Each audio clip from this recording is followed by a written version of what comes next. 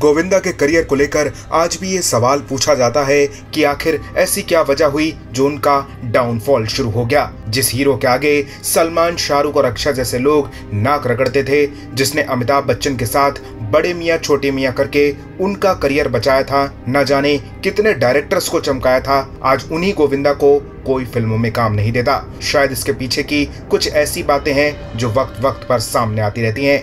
भले ही torsion film आपने देखी हो या नहीं, लेकिन इस फ़िल्म के हीरो का कोई ना कोई पोस्टर आपने ज़रूर देखा होगा। इस पोस्टर में नज़र आने वाले एक्टर हेमंत बिरजे ने गोविंदा को लेकर बड़ा खुलासा किया है।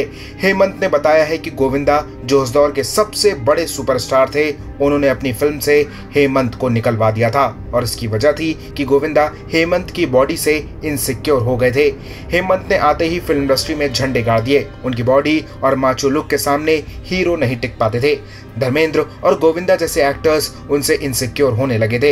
हालाँकि बाद में धर्मेंद्र ने उनके साथ काम किया, लेकिन गोविंदा ने उन्हें अपनी फ़िल्म से निकलवा दिया, जबकि हेमंत को फ़िल्म साइन करा के इक्कीस हज़ार रुपए भी दे दिए गए थे। हेमंत ने बताया कि उनकी फ़िल्म टार्जन सफल होने के बाद उन्होंने 107 फ़िल्में साइन की थी, लेकिन फिर प्रोड्यूसर्स ने इसके बाद उन्हें दरकिनार करना शुरू कर दिया। हेमंत ने बताया कि कई लोगों ने मुझे सलाह दी कि मैं अपनी बॉडी को कम करूँ। हालाँकि मिथुन और सलमान खान ने हेमंत का साथ दिया, वरना शायद उनका करियर भेंट चढ़ गया होता।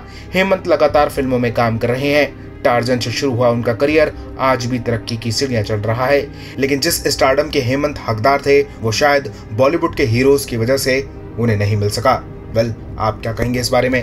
अपनी राय हमें कमेंट में दीजिए और ज़्यादा ऐसी अपडेट्स के लिए बॉलीवुड पे चर्चा को सब्सक्राइब कीजिए।